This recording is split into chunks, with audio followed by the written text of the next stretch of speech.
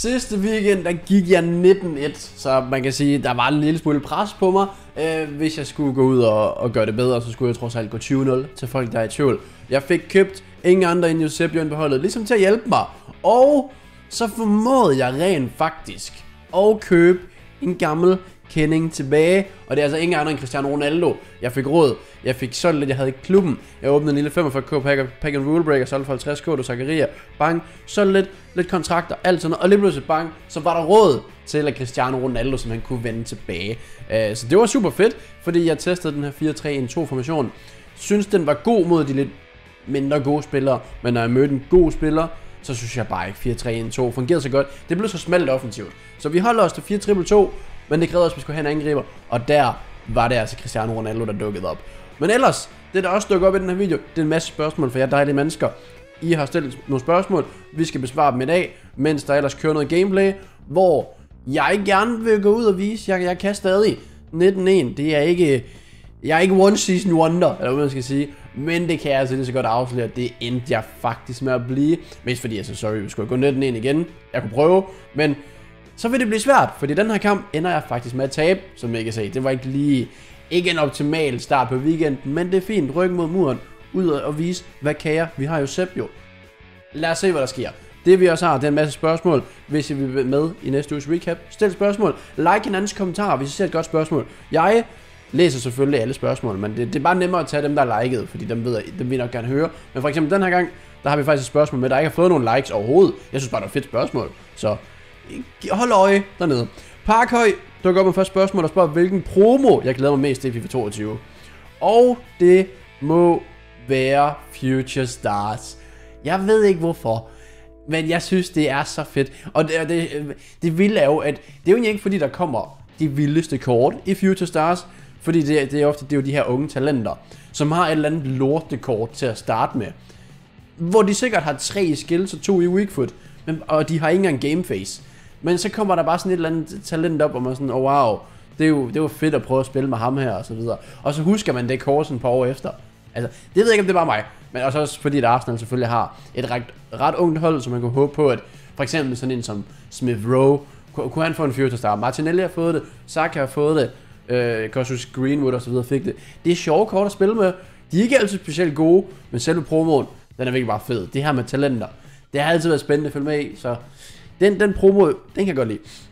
Øh, Vagn også spørger, hvad er min yndlings snack, salgstænger, Oreos, eller øh, et eller andet. Øh, åh, altså normalt er jeg en chipsmand, men øh, det spiser jeg ikke så meget pt. Men det jeg dog købte den anden dag, og jeg, vil, nu, jeg, jeg får det jo sjovt nok kun én gang om året. Øh, ikke kun en dag om året, men sådan en periode om året. Jeg var nede, og det var en pulskøb, jeg, jeg er ikke nede for at hente men jeg købte, jeg købte øh, brunkager, og jeg købte pebernødder. Og de er psyko gode. Så lige, lige den næste halvanden ish måned øh, op til julen, der er pebernødder og, og brunkager. Øh, jeg er faktisk mest til brunkager. Ved alle jeg ved godt, folk primært er pebernødder. Øh, det kan være, at vi skal lige have lavet en straw poll på det på et tidspunkt. Men jeg, jeg synes, brunkager er undefeated, og pebernødder, det er bare, de er bare så nemme. Bare lige hurtigt. Lidt, lidt random, men du spurgte, jeg svarede. Benjamin Dalgaard, det er meget de samme navne, der går igen. Benjamin Dalgaard, hvad vil du helst? Aldrig se Champions League eller aldrig se slutrunder?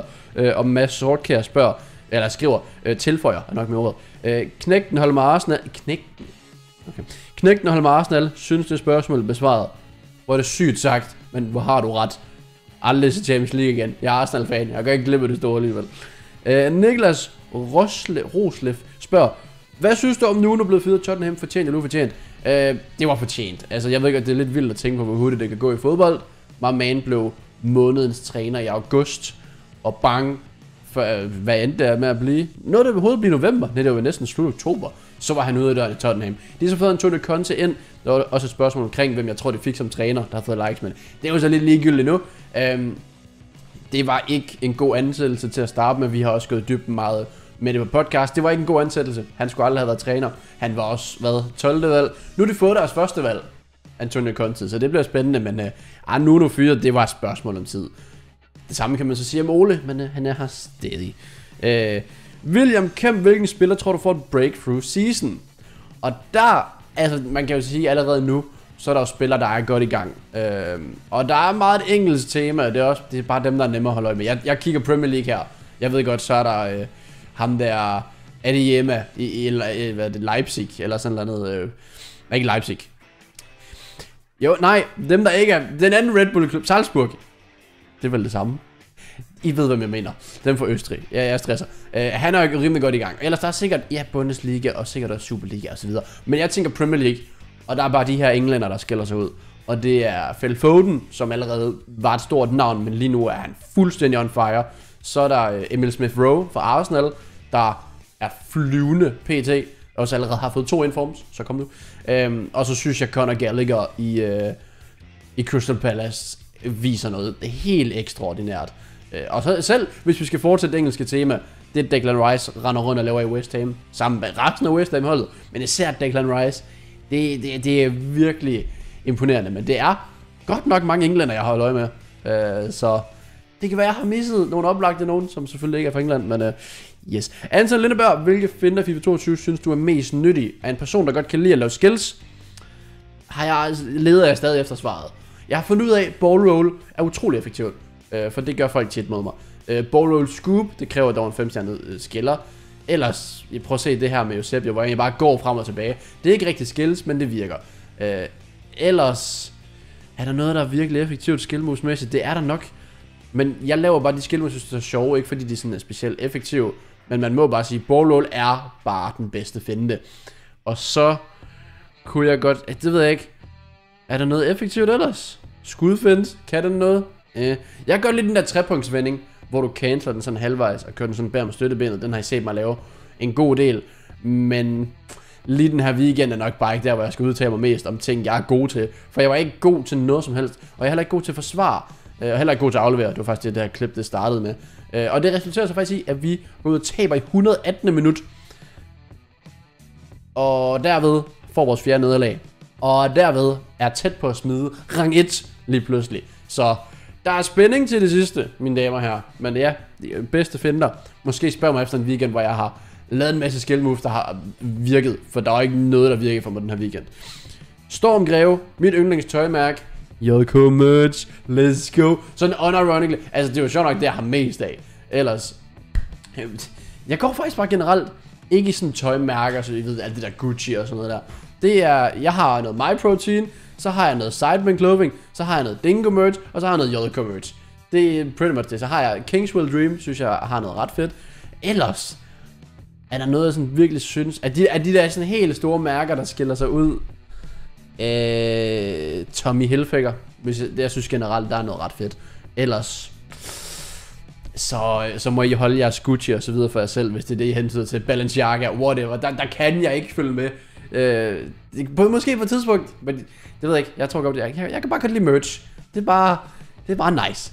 Øh, det der også er nice, det er, når man bare bliver flækket fuldstændig FIFA. Men det hele bare tager en drejning. Og I kommer simpelthen til at se, hvad det er, der sker. For den her kamp går ind og kommer bagud 2-0. Så reducerer vi. Og så gør Kanté af alle mennesker på hele jordkloden det her, gør det til 3-1, og formår faktisk med Robbie Keane, tror jeg det er, og gør det til 4-1. Og hvad der sker efterfølgende, det var godt nok utroligt dårligt redigeret. Vi får nærmest ikke lov til at se målet. We move.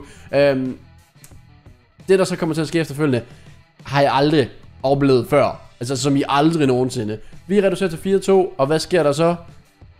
I shit you not. Min modstander laver tre selvmål efter 80 minutter. Øh, der var en masse, der skrev i chatten, for jeg streamede på Twitch, om det er mig god kamp. Jeg ved ikke, hvem af dem det var. Jeg går ud fra, at det var en, der sad og så streamen. Og det var mange, der sagde, jeg vil bare gerne spille mod dig, og så give dig sejren til sidst.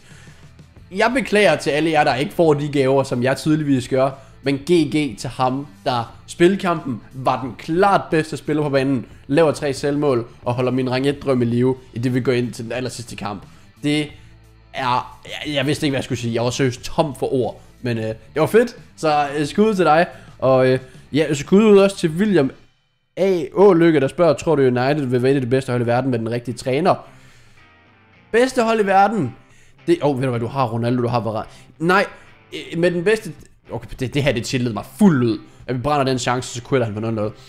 Ikke med Fred McTominay som midtbanen. Gå ud. En ny træner og en ny sekser. Ja. Uden en sekser. Nej. Og så spørger Frederik KP, som det aller sidste spørgsmål i den her video, og det har 0 likes, men jeg synes, det er et fedt spørgsmål, i det vi går ud og flækker igennem og sikrer os den der rang 1 korm nu. Øh, Frederik Håbe spørger, hvad er dit allerbedste FIFA-minde nogensinde? Er den Gud laver tre selvmål og giver mig sejren? Nej. Øh, der er nogle ting, der skiller sig ud. Jeg kan huske, dengang jeg fik Angrier. Øh, min titel var den bedste dag i mit liv. Det sagde folk var trist. Det er lidt hårdt tid. Det var seriøst fedt. Ellers dengang jeg fik Griezmann, for det var som mit breakthrough. Øh, og ellers så alle de her. Der er, ikke, der er der nogle videoer, der skiller sig ud måske. Men ellers, øh, FIFA-mæssigt, er ikke kun i FIFA, men de her Super Sundays, wow liga ting, der var sådan hver, nærmest hver søndag, hver anden søndag, med, med de her pro FIFA-spillere, der spiller e Superliga nu, før det var en ting, da den, dengang man lærte Fredberg, Begge og alle dem her at kende, de minder, der er ikke noget, der sådan det der skilte sig ud, så skulle det være finalen mellem Dingo og Fredberg. Det var ret fedt. Og hele det event, og vi var taget til København for at se det. Sådan bare den weekend, det var ret fedt minde. Men i FIFA, altså jeg pakkede Pelé i den der pakke, der i World Cup mode, det var ret fedt. Angri, det var så også World Cup mode, det var ret fedt.